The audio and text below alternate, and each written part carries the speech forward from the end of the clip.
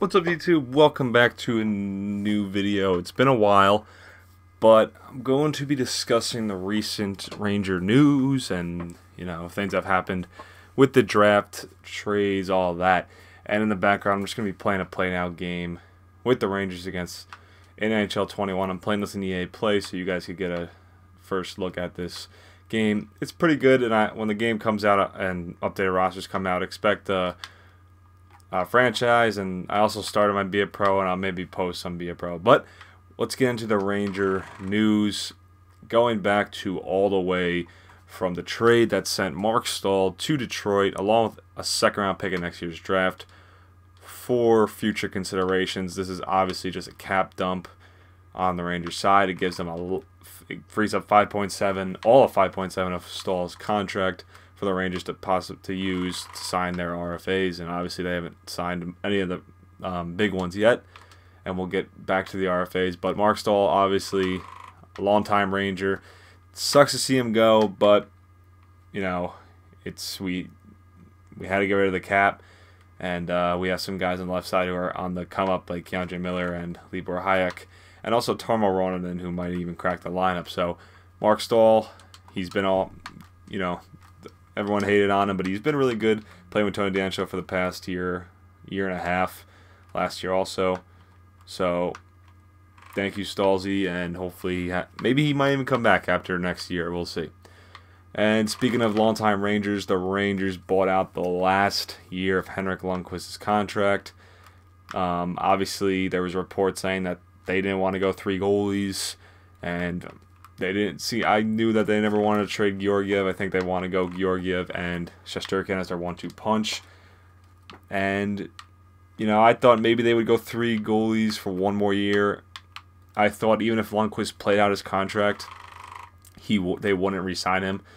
So I saw it coming, but obviously this gives the Rangers a little bit more money, but it also creates more dead cap for next year, which I think might affect their cap, but we'll have to see when the time, or I think it will, but we'll see what the Rangers do when the time comes.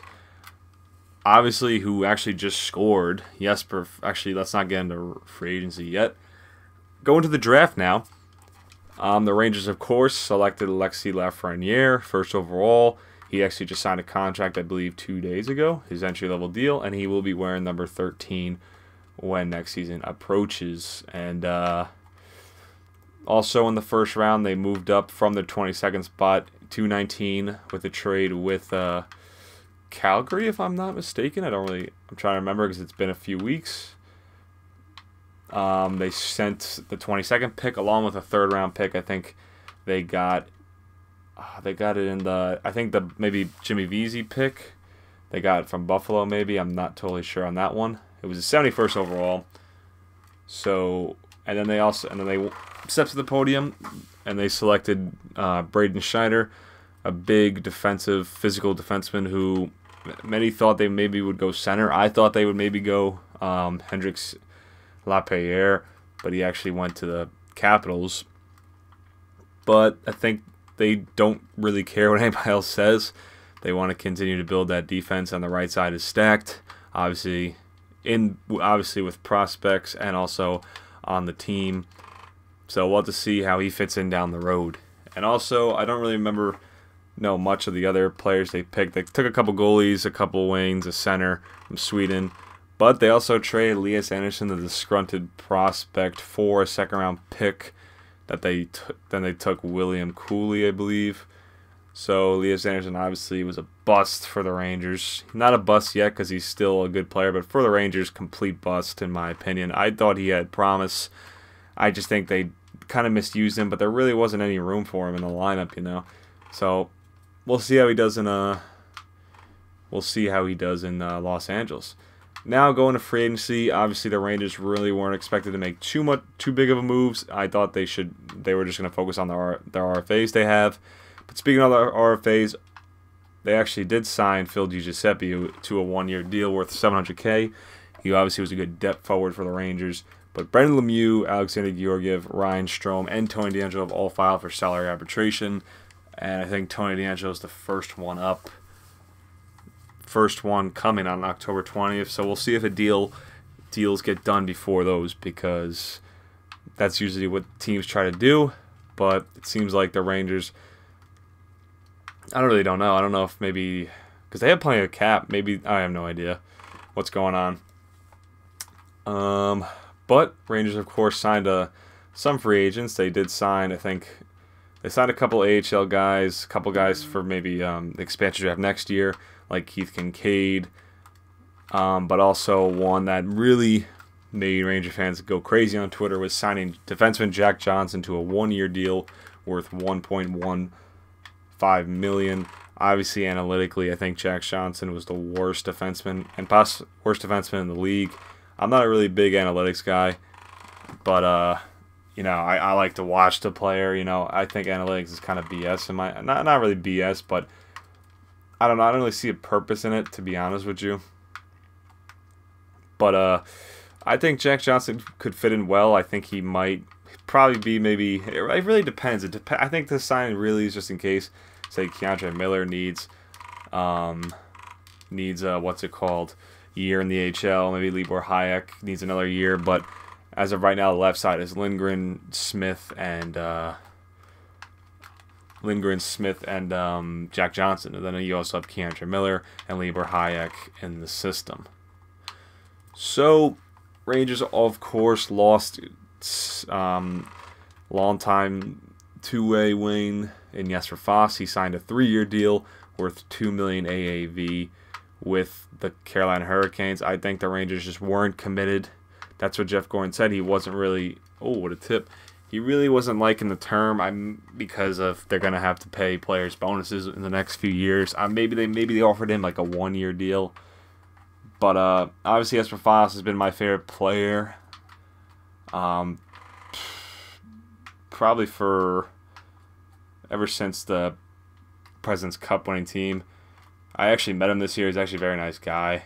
Um, and you know, for him to win the Players Player of the Year award almost every single year, I can see why. And he's hell of a hell of a player. And I think Carolina really got a steal, only paying him 200k more a year than what he was making. So I hope Jesper Fast does well. Hope he doesn't beat. I hope Carolina doesn't beat us in a. He doesn't beat us in a playoff series, but that we'll have to see. So I believe I covered everything, if I'm not mistaken. I don't think I'm missing anything. Obviously, we'll have to see what goes on with the Rangers um, RFAs. We'll this. That's really what we're all waiting for, and that's what I've been waiting for. Really, I think I've covered everything. Um, obviously, there's been a lot of signings, a lot of some good big trades. Obviously, Pietrangelo to Vegas, Torey Krug to San St. Louis. Um, Josh Anderson for Max Domi. Trade went down. So a lot of things went down. But uh, I believe that is all I wanted to cover with the Rangers. I believe that is it.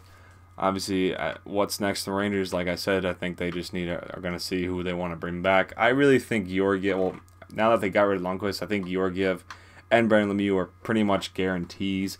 I think Tony DeAngelo is a guarantee, but I think Ryan Strome is the biggest biggest um, question mark just because one at the draft, well, one he was the last player for them to qualify. Tony DeAngelo, I think, was the first, and um, he was qualified. Yeah, he was. So it seemed like they want DeAngelo to stay, but uh, Strome was qualified like last minute because they were going to see if they could trade him or possibly get another center. But I saw a rumor that they kicked tires on uh I think, Mikael Granlund. So we'll have to see how maybe they give him an offer. We'll see what happens. I think Ryan Strome's the biggest what uh, question mark. I think they might be. I think I saw it. They might be discussing a one-year deal, which I think a one or two-year deal would be good because obviously we'll have to see how he plays. Wow, what a shot! How he plays yet again. He did play good last year when he came over, and then had a career year playing with Panarin. So we'll have to see. But I believe that is all I have to cover with the Rangers it's been a emotional, you know, getting rid of three uh, longtime players, but also bringing in a lot of young talent. Of course, it's been an exciting offseason, but a very emotional offseason too. But uh, we'll have to see. We'll have to see what they do with their RFAs. So I hope you guys enjoyed. Um, I only I think I only have like an hour left on this trial, so maybe I'll get out a Be a Pro a Be a Pro episode.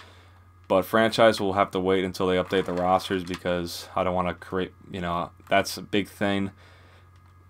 But they'll probably, we'll have to see what they do. So hope you guys enjoyed, and I will see you guys in the next one.